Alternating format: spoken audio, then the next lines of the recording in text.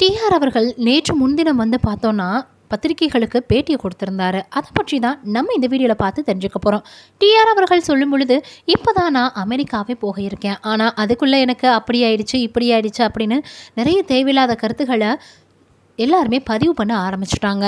ஆனால் இது என்னுடைய கடமை வேலை அப்படின்றத உணர்ந்து தான் அமெரிக்கா செல்கிறதுக்கு முன்பாக நான் இந்த பேட்டியை கொடுக்குறேன்.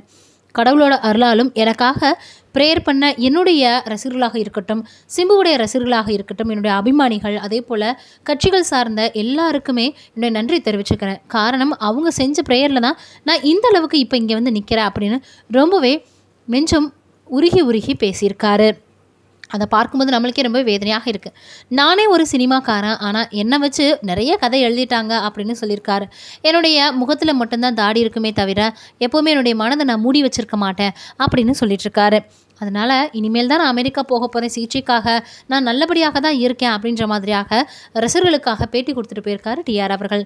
இப்போ இந்த விஷயங்கள் தான் ரொம்பவே சமூக வலைதளங்களில் அதிகமாக பகிரப்பட்டு வந்துட்டுருக்கு. சீக்கிரமே அவருடைய உடல்நிலை சரியாகணும்னு எல்லோரும் சேர்ந்து ப்ரேயர் பண்ணிக்கலாம்.